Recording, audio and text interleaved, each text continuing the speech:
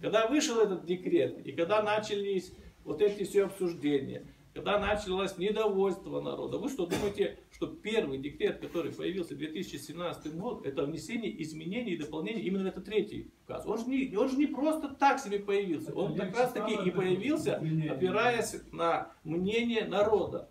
И дальше я говорю, что это не конец, я вот вижу, что это не конец этого закона, что все-таки останется. Вот сейчас поработают райисполкомы, конкретные пойдут предложения, и он будет или отменен, или изменен и дополнен. То есть этот механизм будет дальше как-то развиваться и не, не для того, чтобы ухудшить ситуацию. Что нам делать время, пока он Вы, вы ждете в том, он что 20 число число серьезно, прошло да. уже, да, 20 Так число. получается. Да.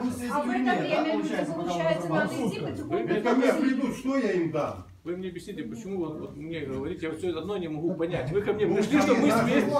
Так вы ко мне пришли, чтобы мы вместе с вами что-то делали. А сейчас вы говорите, что вы с одной стороны улицы, я с другой стороны улицы. Я с вами здесь, в этом зале, и говорю, вот я вас услышал, вот это будет сказано. Какие еще конкретные предложения? Так а что пока платить или как получается? Вот мне надо, может, завтра меня уже в суд вызовут, и что же, то есть не платите? Так, смотрите. Что делать тогда? Я не Вот это очень хороший вопрос.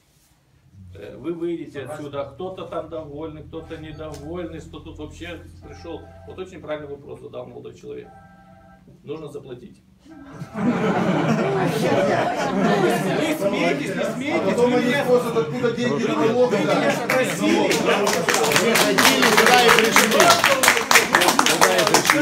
Плохой закон, хороший закон, он закон. И подать документы в эту комиссию. Так а чем Вот вы А потом налоговые спросят, откуда деньги вы взяли за то, чтобы заплатить этот налог. Так?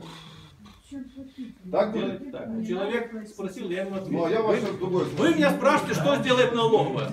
Откуда я знаю, что сделает налоговая?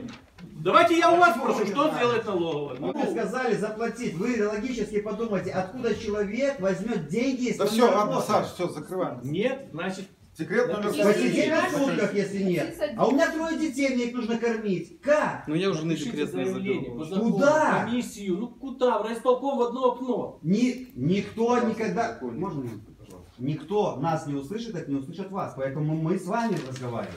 На сегодняшний день депутат нас услышал, принял. В первую очередь я сомневался еще немножко, что он нас вообще примет. Вот.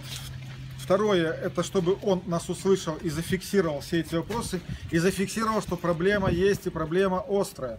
Дальше, как он будет себя вести и что он будет предпринимать для того, чтобы эти проблемы решить, значит, это уже зависит от него, и мы будем смотреть, что он будет делать.